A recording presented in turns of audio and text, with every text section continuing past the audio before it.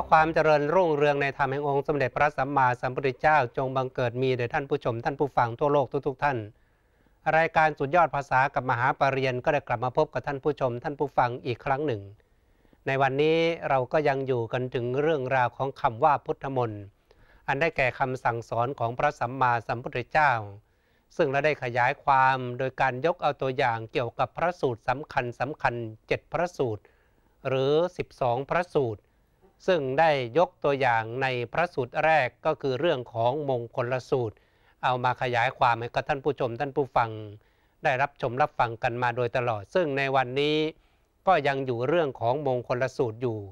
เราเดินทางมาจนกระทั่งถึงมงคลที่ 27 ว่าด้วยความอดทนหรือคือขันตินั่นเอง ท่านได้กล่าวว่าคาถาว่าด้วยความอดทน ท่านกล่าวไว้ในตคาถาว่า ภิกษุผู้ประกอบด้วยความอดทนคือความอดกลั้น ใดย่อมเป็นผู้ไม่มีอาการผิดแปลกเป็นประหนึ่งว่าไม่ได้ยิน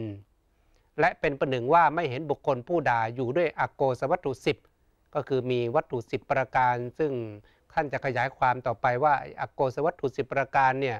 มันด่าแบบแสบเป็นคำด่าที่ถือว่าสุดยอดในความคำด่าของคนในยุคนั้นนะ หรือผู้เบียดเบียนอยู่ด้วยกันฆ่าและการจองจำเป็นต้น ดุดขันติวาทีดาบทฉะนั้น อันนี้ก็เป็นการโปรยหัวยกตัวอย่าง ซึ่งจะขยายความต่อไป ว่าขันติวาทีดาบทเป็นใคร แล้วมาเกี่ยวข้องกับความอดทนอย่างไร ย่อมทำไว้ในใจโดยความเป็นผู้เจริญ เพราะความไม่มีความผิดยิ่งไปกว่านั้น ดุดท่านพระปุณณเถระฉะนั้น นี่ก็จะเป็นการยกตัวอย่างหัวข้อไว้ว่าพระปุณณะประวัติความเป็นมาของท่านอย่างไร มาเกี่ยวข้องกับความอดทนอย่างไร ความอดทนคือความอดกลั้นนั้น ชื่อว่าขันติก็ขยายความภาษาบาลีว่าขันติมาแปลเป็นภาษาไทยคือความอดทนคือหรือความอดกลั้น บรรดาอุทาหรณ์ทั้งสองเรื่องนั้นจะกล่าวถึงขันติวาทีดาบทดังต่อไปนี้เห็นไหมว่า พอท่านโปรยหัวข้อเอาไว้เสร็จสับเรียบร้อย ก็มายกตัวอย่างเกี่ยวกับเรื่องของท่านขันติวาทีดาบท ซึ่งขันติวาทีดาบทนั้นเป็นใครมาอย่างไร เราก็จะได้ติดตามศึกษาเรียนรู้ประวัติท่านต่อไป ในอดีตการพระโพธิสัตว์เป็นพราหมณ์ชื่อกุณฑะบวชเป็นดาบทอยู่ในหิมวันตประเทศเป็นเวลานาน เพื่อจะเสพของเค็มและของเปรี้ยว ก็คือท่านกุณฑะเนี่ยออกบวชแต่ว่าในยุคนั้นยังไม่มีพระพุทธศาสนาบังเกิดขึ้น ท่านก็ได้บวชเป็นดาบทนะไปบวชเป็นดาบทเสร็จก็เข้าป่าอยู่ในป่า แต่พอไปอยู่ในป่านานๆเนี่ยสุขภาพคนเราบางทีมันยังต้องมีการรับประทานรับสารอาหารที่พอเพียงต่อร่างกายเหมือนกัน ท่านก็จะบอกว่าเพื่อจะเสพรสเค็มและรสเปรี้ยวก็คือ จะต้องกลับเข้ามาสู่ในบ้านในเมือง เพื่อจะต้องมาเสริมสารอาหาร อย่างเช่น เกี่ยวกับเรื่องของเกลืออย่างนี้เป็นต้น จึงไปสู่กรุงพาราณสี อันเสนาบดีบำรุงพักอยู่ในราชอุทยาน คือคันติวาตีดาบทหรือในเดือนามเดิมนั่นก็คือท่านกุณฑะเนี่ยกุณฑะดาบทเนี่ยหลังจากที่ไปบวชอยู่นานแล้วก็กลับมาก็มาเจอท่านเสนาบดีที่ดูแลกษัตริย์อยู่ก็พาไปพักอยู่ที่พระราชอุทยานของกษัตริย์ ต่อมาวันหนึ่งพระราชาทรงพระนามว่ากาลาปุก เสวยน้ำจันมีมึนเมาเสียพระสติมีพวกนักนักฟ้อนห้อมล้อม เสด็จไปสู่พระราชอุทยานได้ทรงนิทรา ก็คือเดินทางพระเจ้ากลาปุเป็นคนที่ดุร้ายเป็นคนที่เป็นกษัตริย์ที่เห็นแก่ก็เรียกว่าหลงในอำนาจของตัวเอง เพราะนั้นหลังจากที่ดื่มเหล้านะถ้าศัพท์ที่เราเข้าใจกันง่ายๆ จะเรียกน้ำจันหรือดื่มเหล้านั่นแหละ ก็เกิดความมึนเมา ก็พาพวกนักฟ้อนนางรำทั้งหลายพากันเดินทางไป ไปพักที่พระราชอุทยาน แล้วก็ให้นางนักฟ้อนคนหนึ่งเนี่ยหนุนนั่งแล้วก็ตัวเองก็ใช้ศีรษะนะหรือเรียกกันว่าเสียนของกษัตริย์นั้นนะนอนนอนอยู่บนตักของนักฟ้อนท่านนั้น แล้วก็ได้หลับไป ทอดพระเศียรบนตักของหญิงซึ่งเป็นที่รัก และพอพระหฤทัยคนหนึ่ง ครั้งนั้นหญิงพวกอื่นต่างพากันทอดทิ้งพระราชาเสียเที่ยวไปในพระราชอุทยาน เห็นพระโพธิสัตว์นั่งอยู่ที่โคนไม้รัง ซึ่งมีดอกบานสะพังจึงไหวคือพวกนักฟ้อนนางรำทั้งหลายเนี่ยเห็นเออเราฟ้อนให้กษัตริย์ดู แต่กษัตริย์หลับไปแล้วเนี่ยก็ไม่ไม่จำเป็นแล้วนี่ก็พากันเดินไป เพื่อจะไปชมนกชมไม้ตามภาษาของนักฟ้อนทั้งหลายเหล่านั้น เห็นก็เห็นพระโพธิสัตว์นั่งอยู่ใต้ต้นต้นรัง ก็เข้าไปนั่งไปไหว้นะก็มีจิตเป็นกุศลดีนะพอนั่งไหว้เสร็จก็ไปนั่งฟังธรรมอยู่ก็นี้พระราชาทรงตื่นบรรทมขึ้น เมื่อไม่ทอดพระเนตรเห็นหญิงเหล่านั้น จึงกริ้วโกรธมากนะว่าเอ๊ะหญิงทั้งหลายที่เราให้มาฟ้อนรำให้เราดูหายไปไหนกันหมด เหลือแต่นางนักฟ้อนคนเดียวที่ตัวเองหนุนหนุนตักอยู่ ทรงถือพระขันเสด็จไปที่นั้น หญิงที่ทรงโปรดปรานมากคนหนึ่ง ได้คว้าเอาพระขันจากพระหัตถ์ของเท้าเธอไปเสีย พระราชาตรัสถามว่าสมณะท่านมีปกติกล่าวอะไร เออ มันก็แปลกดีเหมือนกันนะ พวกนักฟ้อนนางรำไปฟังเทศฟังธรรม แต่ไปโกรธดาบทผู้แสดงธรรม ถามว่าเคยรู้จักกันไหมไม่เคยรู้จัก เคยเห็นหน้าไม่ไม่เคยเห็นหน้า แต่เห็นว่าท่านกำลังแสดงธรรมอยู่ครั้งนั้นแหละก็โกรธ เออแทนที่จะโกรธนักฟ้อนนางรำของตนเองที่ทิ้งหน้าที่ไปไปฟังเทศ แต่กลับไปโกรธนักบวช ทั้งๆทที่นักบวชท่านไม่ได้ทำอะไรนะท่านก็ทำหน้าที่ของท่านคือแสดงธรรมตามปกติของท่าน มีคนมาฟังธรรมท่านก็แสดงธรรมมันก็เหมือนคล้าย ๆ กับมนุษย์ยุคนี้พอเห็นคนเข้าวัดปฏิบัติธรรมอะก็ไปด่าคนเหล่านั้น หรืออไปด่าพระสงฆ์องค์สมมาเนนที่ท่านแสดงธรรม หรือบางทีก็ด่าวัดวาอารามที่ท่านให้ผู้บำเพ็ญธรรม มันก็แปลกเป็นอย่างนั้น เช่น บางคนมาเจอหน้ากันในวัดมาทำบุญ ไม่พอใจกัน ก็บอกว่าไม่ว่าอีกแล้ววัดนี้ไปโทษวัด แต่พอไม่ไม่พอใจกันไปเจอหน้ากันที่ห้าง ก็เดินหลบหนีกันไป แต่ไม่ได้พูดว่าไม่มาอีกแล้วห้างสรรพสินค้านี้เออมันเป็นอย่างนั้นมนุษย์นี่มันมีอะไรแปลกๆอยู่เหมือนกันคล้ายๆกับกษัตริย์ท่านเนี่ยถามว่าดาบทนี่ไปทำอะไรให้ ไปด่าบิดามารดา พระราชบิดามารดาท่านหรือก็ไม่ได้ด่า คือไปโกรธโกรธนักบวชโกรธกษัตริย์ไอ้โกรธนักบวชโกรธดาบทที่ท่านแสดงธรรมเหมือนกันบางครั้งบางคราวเนี่ยเราฟังเทศฟังธรรมถ้าเราไม่พอใจหรือเราไม่ถูกใจแล้วก็ไปแล้วก็ไปฟังองค์อื่นไปฟังท่านอื่น หรือบางทีเรามาฟังธรรมในวัดนี้ เรารู้สึกว่าไม่ถูกอัธยาศัย ไม่ถูกจริตเรา โอ้วัดในโลกนี้มันเป็นไม่รู้กี่แสนกี่ล้านวัดในในพระพุทธศาสนาของเราเนี่ยในแต่ละประเทศ เราไม่พอใจไม่พึงพอใจวัดนี้ แล้วก็ย้ายไปวัดอื่นไปฟังวัดนู้นไปฟังวัดนี้ปฏิบัติก็ถูกจริตเรา มันก็เหมือนเราเลือกอาหารนั่นแหละเราไม่พอใจอาหารร้านนี้แล้วก็ไปร้านนู้น มันก็ไม่ได้ผิดอะไร แต่คนส่วนใหญ่มันไม่เป็นอย่างนั้นไงอ้าไม่พอใจวัดนี้สอนอย่างนี้ อ้าวก็จะมาเผาวัดมาด่าพระมาเข็นฆ่าพระ เออ ถามว่าพระไปทำอะไรให้เออไปด่าบิดามารดาท่านหรือก็ไม่ได้ด่าอันนั้นมันน่าคิดนะคุณโยมมันน่าคิดว่าคนได้แยกแยะไม่ออกว่าอะไรคืออะไร คล้ายๆกันกับกษัตริย์ท่านนี้เนี่ยพอแยกแยะไม่ออกอะไรเกิดขึ้น ก็หาหาเรื่องทำวิบากกรรมหนัก เพราะว่านักบวชท่านน่ะท่านไม่โกรธไม่เกลียดไม่โต้ตอบแล้วท่านก็ไม่ได้ มีความอาฆาตมาตอะไรอะไร เพราะว่าท่านทำหน้าที่ของท่านไงเมื่อเป็นหน้าที่ของพระก็ทำหน้าที่ของพระให้สมบูรณ์ หน้าที่ของสามเณรก็ทำหน้าที่สามเณรให้สมบูรณ์เป็นที่นักบวชก็ทำหน้าที่ของนักบวชเช่นเดียวกับท่านขันติดาวาทีดาบทเนี่ยเมื่อมีหญิงนักฟ้อนเหล่านั้นเดินทางมาขอฟังธรรมในฐานะที่ท่านเป็นนักบวชท่านก็แสดงธรรม คราวนี้พอกษัตริย์เห็นอย่างนั้นเข้าก็คว้าเลยคว้าพระขันคือคือมันมีดอย่างหนึ่งนั่นแหละกะไปว่าจะไปฆ่าเลยนะโอ้โหเป็นขนาดนั้นนะเออ แปลกดีเหมือนกัน มันเหมือนคนคล้ายๆ ถ้าเป็นสัตว์บางประเภทเขาเรียกว่าตาบอดสี เห็นสีเหลืองสีแดงอะไรไม่ได้จะไล่ขิดอย่างเดียว อันนี้เหมือนกันเห็นพระเห็นเนนเห็นตมณะชีพราไม่ได้จะฆ่าอย่างเดียวเลย โอ้โหมันเป็นกันถึงขนาดนั้นเลย ก็ พอถือพระขันไปแต่ยังดีที่นักฟ้อนนั่นน่ะก็ไปก็ไปคว้าเอาพระขันออกมาจากพระหัตถ์ได้ แต่ก็ยังโกรธนะ ไปเหมือนประเภทแบบชี้หน้าด่าท่านถามท่านว่าสมณะท่านมีปกติกล่าวอะไร พระดาบทก็ตอบด้วยความนิ่งๆท่านก็ไม่ได้มีความโกรธตอบหรือมีความพึงพอใจไม่มีพึงพอใจที่กษัตริย์มาแสดงอาการกิริยาอย่างนั้น ดาบทก็บอกว่ามีปกติกล่าวขันติมหาบ่อพิษเอออาตมาเนี่ยสอนถึงเรื่องราวของความอดทน พระราชาก็บอกว่าขันตินั้นมันคืออะไร ก็ยังไม่เข้าใจเท่าไหร่นะท่านดาบทก็บอกคือความไม่โกรธเมื่อคนอื่นด่าอยู่ประหารอยู่และดูหมิ่นอยู่บอกว่าเราอดทนได้อดกลั้นได้ในขณะที่คนอื่นเขาแสดงอาการโกรธอาการด่าหรือทำร้ายดูหมิ่นดูแคลนเราก็ไม่ได้ มีความหวั่นไหวไม่ได้แสดงอาการโต้ตอบอย่างนั้น พระราชาก็บอกบัดนี้เราจะเห็นความที่ขันติของท่านมีอยู่ โอ้พระราชามีอาการโกรธอยู่แล้วก็จะลองของกันทันทีเลย แล้วรับสั่งให้เรียกคนฆ่าโจรมาแล้วตรัสว่าเจ้าจงฆ่าดาบทชั่วคนนี้ให้ล้มลงแผ่นดินบนแผ่นดิน ด้วยความโกรธใช้อำนาจในทางที่มิชอบ ถ้าเป็นศัพท์ปัจจุบันเนี่ยเขาเรียกว่าใช้อำนาจในทางที่มิชอบ สั่งมาเลย สั่งไอ้โจรโหดๆที่มันเคยฆ่าคน หรือเขาเรียกว่าเพชฌฆาตเนี่ยมา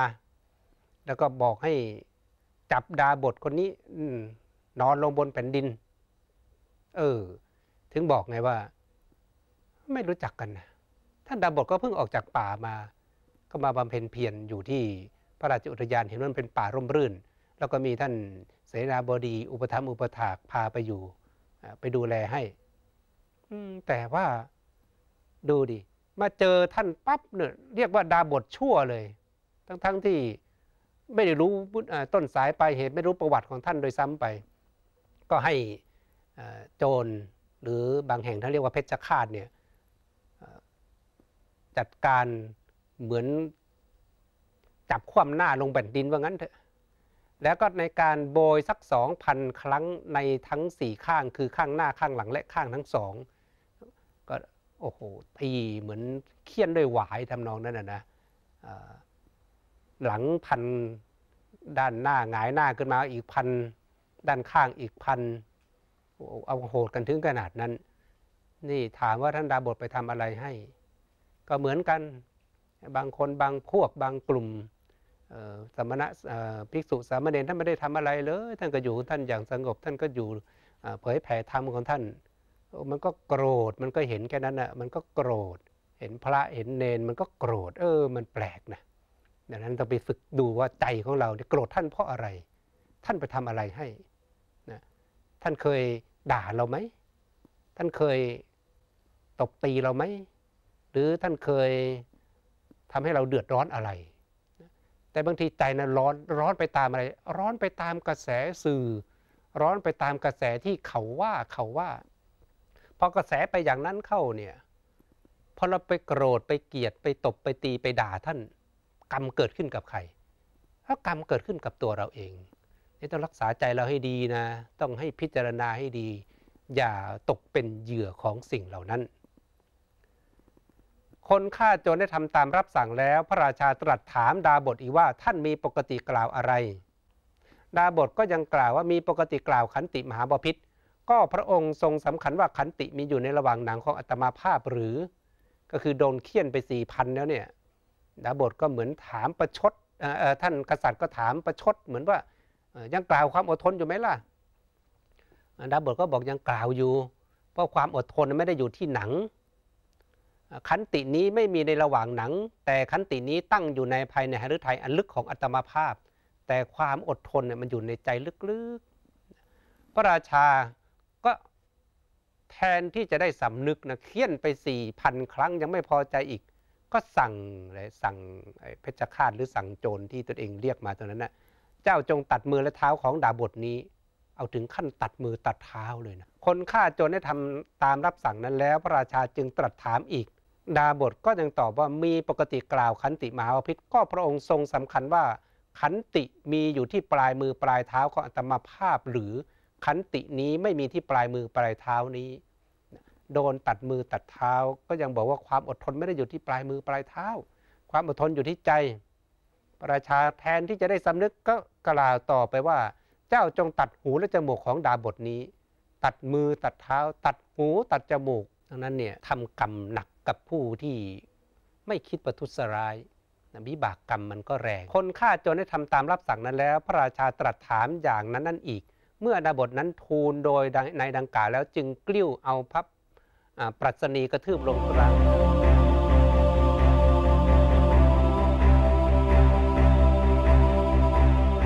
คนฆ่าโจรได้ทำตามรับสั่งนั้นแล้ว พระราชาตรัสถามอย่างนั้นนั่นอีก เมื่อดาบทนั้นทูลโดยในดังกล่าวแล้วจึงกลิ้วเอาพับปรัชนีกระทืบลงตรงกลางอกของพระโพธิสัตว์แล้วเสด็จหลีกไป โกรธ เพราะว่าไม่สามารถทำให้พระดาบทนั้นโกรธตัวเองได้ หรือไม่สามารถเอาชนะพระดาบทได้ เพราะตัวเองคิดว่าตัดมือตัดเท้า ตัดจมูกตัดหูของดาบทแล้วเนี่ยดาบทก็คงจะยอมบอกยอมแล้วข้าพเจ้าทนไม่ไหวแล้ว ก็คิดอยากจะได้ฟังคำนั้นแหละแต่ดาบทท่านบอกว่า ความอดทนมันไม่ได้อยู่ที่มือไม่ได้อยู่ที่จมูกที่หู ไม่อยู่ที่ส่วนใดไม่ได้อยู่ที่หนังไม่อยู่ที่เนื้อมันอยู่ที่ใจ โกรธมากก็ใช้เท้าเนี่ยกระทืบนะหน้าอกของพระโพธิสัตว์ผู้นอนอยู่ทั้งนั้นแล้วก็หนีไป พระราชาถูกแผ่นดินสูบที่ประตูพระราชอุทยานเองไปเกิดในอเวจีเห็นไหมล่ะทำกรรมกับผู้มีบุญบารรมีกับผู้ที่ไม่ประทุษร้ายโต้ตอบอย่างนั้น ก็โดนแผ่นดินสูบที่ประตูพระราชอุทยานก็ไปเกิดในอเวจี บางคนบางพวกก็ถามว่าเออเรายุคปัจจุบันเนี่ย ผู้ที่ทำกรรมหนักกับพระภิกษุสงฆ์องค์สามเณรเยอะแยะทำไมมันไม่โดนแผ่นดินสูบให้ดูบ้าง ก็จะคิดอย่างนั้นแต่จริงแล้วการส่งผลของบุญและบาปมันก็มีจังหวะโอกาส แต่อย่าลืมว่ากษัตริย์นั้นน่ะถ้าเรียกว่ามีความอาฆาตอย่างรุนแรง แล้วก็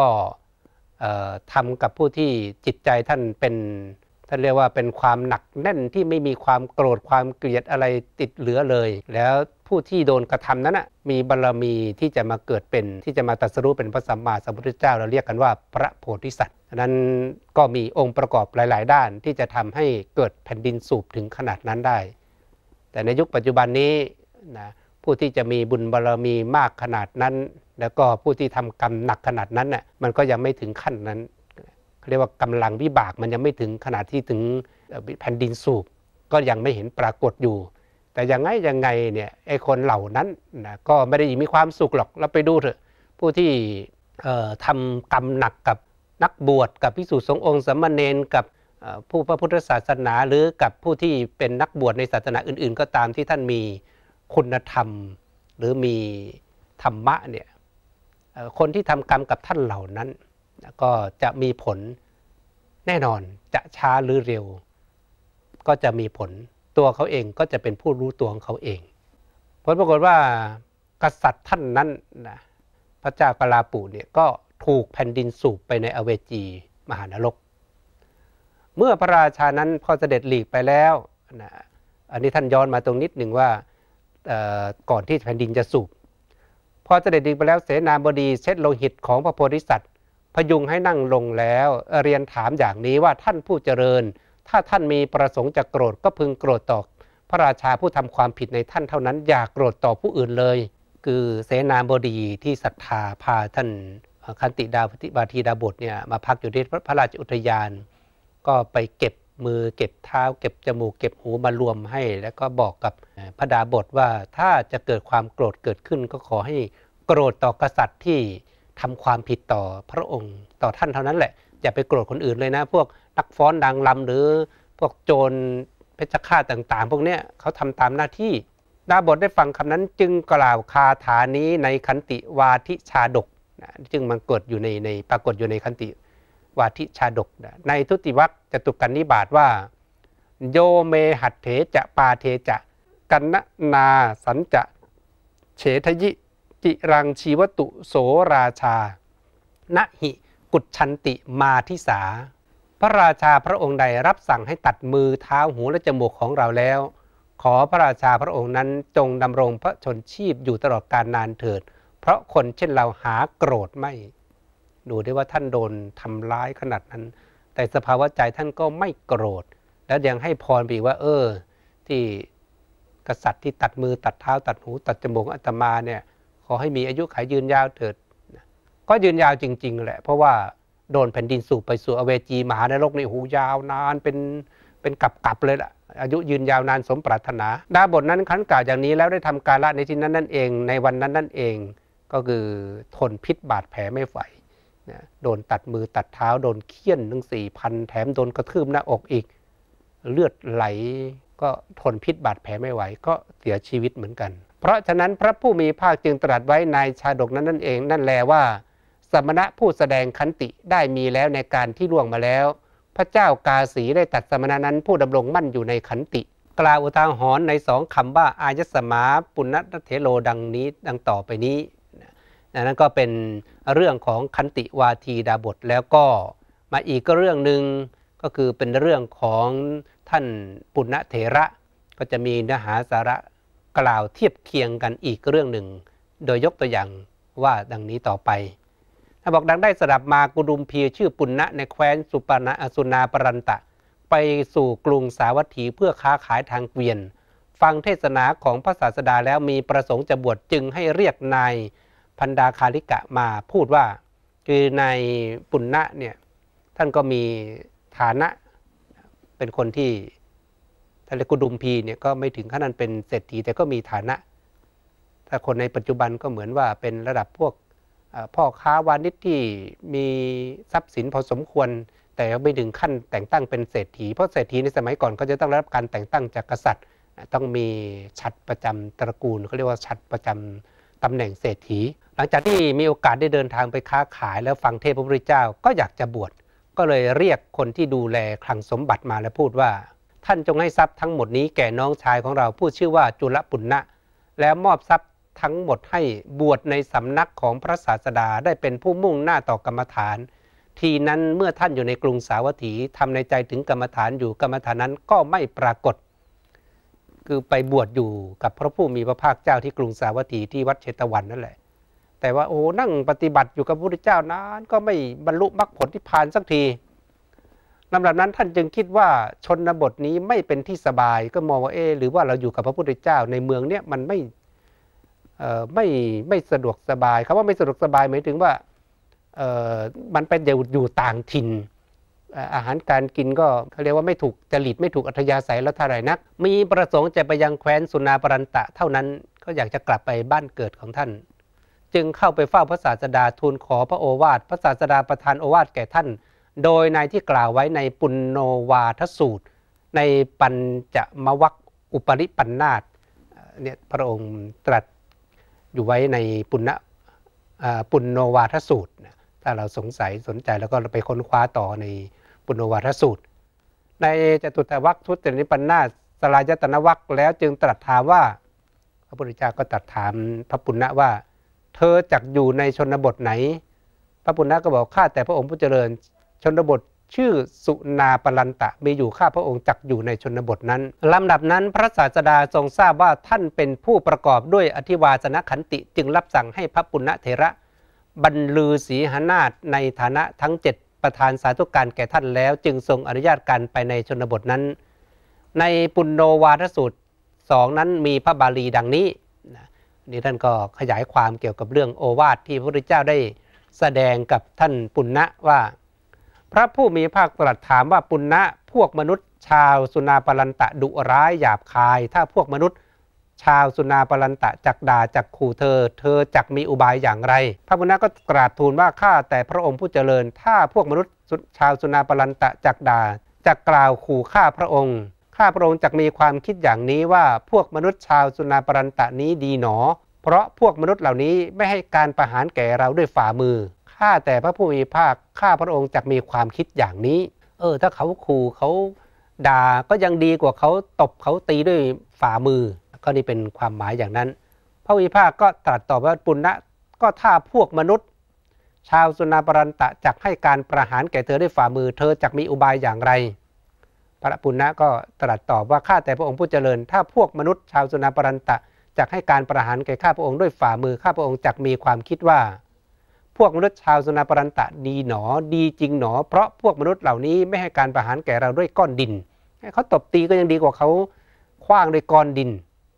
พระวิภาคเจ้าก็ตรัสว่าปุณณะก็ถ้าพวกมนุษย์ชาวสุนาปรันตะจักให้การประหารแก่เธอด้วยก้อนดินเธอจักมีอุบายอย่างไร พระพุทธก็ตอบว่าข้าพระองค์ข้าแต่พระองค์ผู้เจริญก็ถ้าพวกมนุษย์ชาวสุนาปรันตะจะให้การประหารแก่ข้าพระองค์ด้วยก้อนดินข้าพระองค์จะมีความคิดในข้อนั้นอย่างนี้ว่า วกมนุษย์ชาวสุนาปรันตะดีนี้ดีหนอดีจริงหนอเพราะพวกมนุษย์เหล่านั้นไม่ให้การประหารแก่เราด้วยท่อนไม้เขาคว้างด้วยก้อนดินดีกว่าทุบด้วยท่อนไม้ก็ตอบไปอย่างนั้น ข้าพระองค์จะมีความคิดในข้อนั้นอย่างนี้ว่า คือพระพุทธเจ้าก็ตัดต่อต่อไปว่าปุณณะถ้ามนุษย์ชาวชนนาปรันตะจะให้การประหารแก่เธอด้วยท่อนไม้ล่ะ เธอจะเธอจะทำอย่างไร เธอจะมีอุบายอย่างไร พระปุณณะก็ตอบว่าข้าพระองค์ผู้เจริญ ก็ถ้าพวกมนุษย์ชาวสุนาปรันตะจะให้การประหารแก่ข้าพระองค์ ด้วยท่อนไม้ ข้าพระองค์จะมีความคิดในข้อนั้นอย่างนี้ว่าพวกมนุษย์ชาวสุนาปรันตะนี้ดีหนอดีจริงหนอ เพราะพวกมนุษย์เหล่านี้ไม่ให้การประหารแก่เราด้วยสัตราเออเขา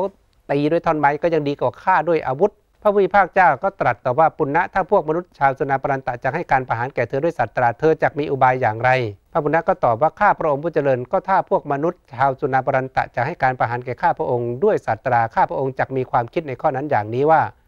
พวกมนุษย์ชาวสุนาปรันตะนี้ดีหนอดีจริงหนอ เพราะพวกมนุษย์เหล่านี้ไม่ปรงเราเสียจากชีวิตด้วยสัตราอันคม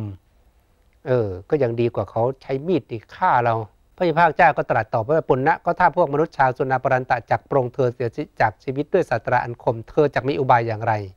พระปุณณะก็ตอบว่าข้าแต่พระองค์ผู้เจริญ ถ้าพวกมนุษย์ชาวสุนาปรันตะจักปรงข้าพระองค์เสียจากชีวิตด้วยสัตราอันคมข้าพระองค์จักมีความคิดในข้อนั้นอย่างนี้ว่า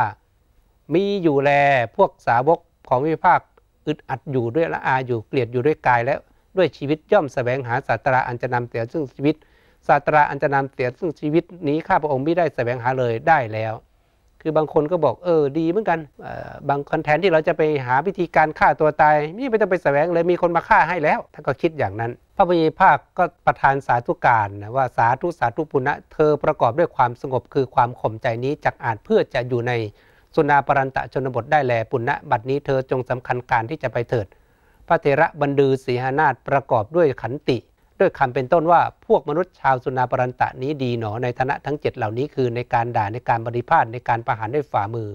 ในการประหารด้วยก้อนดิน ในการประหารด้วยท่อนไม้ในการประหารด้วยสัตราในการปรงจากชีวิตจึงถวายบังคม พระผู้มีพระภาค ไปยังแคว้นสุนาปรันตะนั้น เข้าจำพรรษาดูในมกุลการาม บรรลุวิชาสามภายในพรรษานั้นนั่นเอง ปรินิพานแล้วความย่อในมงคลนี้เพียงเท่านี้ส่วนความพิสดารพึงตรวจดูในปุณโนวาทสูตรพร้อมทั้งอัตและคาถาและดีกา นี่ก็เป็นเนื้อหาสาระเกี่ยวกับเรื่องประวัติของท่านปุณณะนะที่ท่านอยู่ในชนบท แล้วก็มีโอกาสมาบวชอยู่กับพระพุทธเจ้า แล้วรู้สึกว่านั่งมันปฏิบัติมันไม่บรรลุ ก็เลยอยากจะกลับไปยังชนบทหรือยังแคว้นที่ตัวเองอยู่ เพราะว่าคุ้นเคยกับอากาศดินฟ้า คุ้นเคยกับอาหารการกิน คุ้นเคยกับที่อยู่อาศัยพอถามพอพระพุทธเจ้ารู้ว่าจะกลับไปที่นั่นน่ะ แต่คนแถวนั้นน่ะโดยส่วนใหญ่เป็นคนที่โหดร้ายดุร้ายนะท่านก็เลยถามว่าถ้าไปแล้วไปเจอถ้าเขาด่าทำยังไงถ้าปุณณะก็บอกว่าก็ยังดีกว่าเขา ตีด้วยฝ่ามือ ถ้าเขาตบตีล่ะทำยังไง ก็ยังดีกว่าเขาคว้างด้วยก้อนหินก้อนดิน ถ้าคว้างก้อนหินก้อนดินทำยังไง ก็ยังดีกว่าทุบด้วยท่อนไม้ ถ้าเขาทุบด้วยท่อนไม้ทำยังไง ก็ยังดีกว่านะเขาใช้มีดฟัน หรือว่าใช้สัตราอาวุธทำร้าย ถ้าเขาใช้สัตราอาวุธทำร้าย ก็ยังดีกว่าเขาใช้สัตราอาวุธฆ่าเรา แล้วเกิดเขาเราใช้สัตราอาวุธฆ่าเราล่ะ เออ ก็ดีเหมือนกัน เพราะว่าแทนที่เราจะไปบางคนก็บอกว่าไปแสวงหาการฆ่าตัวตาย แต่ว่านี่ไม่ต้องไปแสวงหาเลยมันมาหาเองนะก็คือปรงได้ทำใจได้ มันจะเกิดอะไรขึ้นก็ตาม ก็สามารถที่จะอดทนสู้กับสิ่งเหล่านั้นได้ พระพุทธเจ้าก็ทรงอนุโมทนา หลังจากที่ท่านไปจำพรรษาแล้วก็ได้บรรลุพระอรหันต์ที่นั่นจริง ๆ ก็ไม่มีใครประฆ่าท่าน ดังนั้นเราจะเห็นได้ว่าความอดทนนี้ก็มีความสำคัญต่อการดำเนินชีวิต ดังนั้นเราต้องทำชีวิตของเราให้มีความอดทน อดกลั้นต่อสิ่งที่จะมากระทบจิตใจของเรา ดังนั้นวันนี้เราก็ศึกษากันเพียงเท่านี้ก่อน เดี๋ยวคราวหน้าก็มาศึกษาเรียนรู้กันถึงว่าความอดทนนั้นพระพุทธเจ้าเราได้ขยายความไปอย่างไรกันต่อไปสำหรับวันนี้อนุโมทนาสาธุการ ขอให้ทุกท่านมีแต่ความสุขความเจริญ มุ่งมา่ปรารถนาสิ่งใดในทางที่ชอบประกอบปริกุศล ขอความปรารถนานั้นจงเป็นผลสำเร็จจงเป็นผลสำเร็จจงเป็นผลสำเร็จ ก็ให้มีดวงตาเห็นธรรมเข้าถึงพระธรรมกาย ติดตามมหาปูชนียาจารย์สร้างบารมี ไปถึงที่สุดแห่งธรรมจงทุกท่านทุกประการเทินขอเจริญพร